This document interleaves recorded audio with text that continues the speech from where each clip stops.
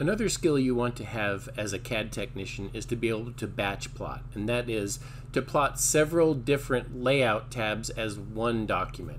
In this video, I'll show you how to batch plot to a PDF so that you get one document and you don't have to stitch them together later on using Adobe software.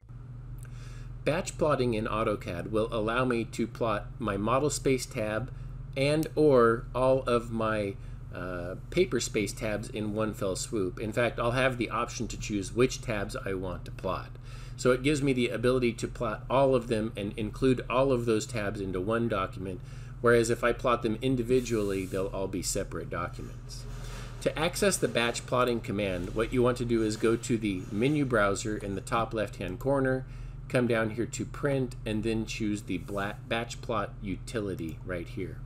You'll see that this print plot utility looks different from the regular one. And it's based on the fact that all of my tabs down here already have plot styles associated with them.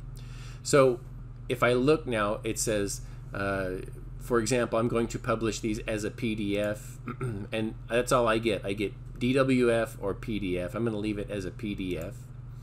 Um, there is the option there to send it to a plotter named in the page setup, but in my page setup, I have those all set to PDF, so it's still going to be the same. Um, it asks me if I want to, you know, choose all open drawings. If I had more than one drawing open here, they would all be listed here. So I could plot several drawings at once if I needed to and put them all into one document, which makes it kind of nice. Now, if I look at this right here where it says publish options and choose this, you'll see that there's some things here like where is it going to send this when I plot it?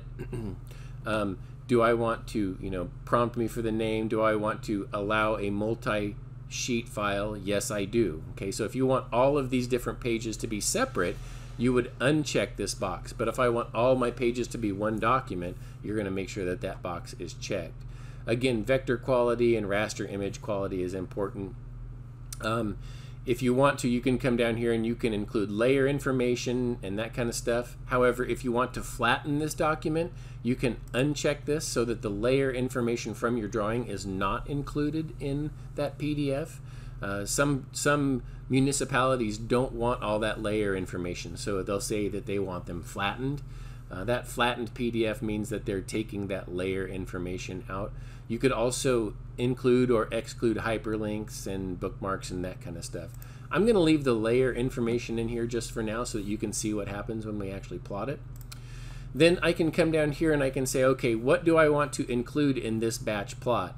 And in this case, I want the landscaping plan, the site plan, and maybe some building dimensions, but I don't want this one here, so I'll just right click on this and I'll say remove it from that list. Now from here, it's just kind of giving me some overview down here. If I want to include a plot stamp, I can do that here.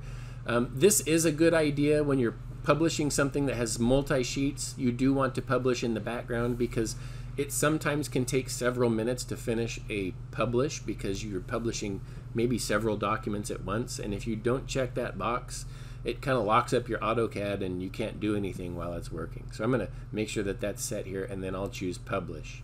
It's going to ask me where I want to send it to. So I'm going to send this down to my, uh, I'm going to put this in my downloads folder just because I know that's where it is and I can find it easy.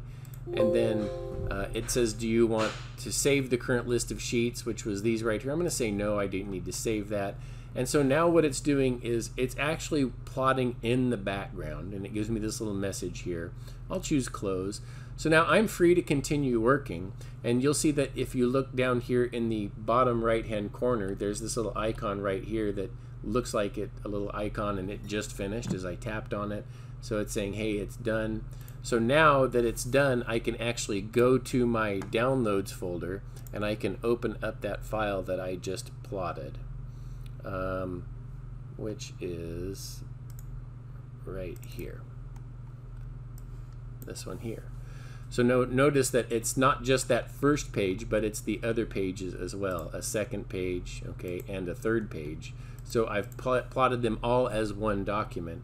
And if I were to come over here and look at some of these, you know, I've got that, I've got my uh, I've got the layer list in here somewhere. These are all the layers and I can come in and turn them on and off as necessary so you can see what's in the drawing and what's not in the drawing. So It's a great tool. You need to be able to make sure that you know how to batch plot anytime you're working in AutoCAD. Thanks for watching.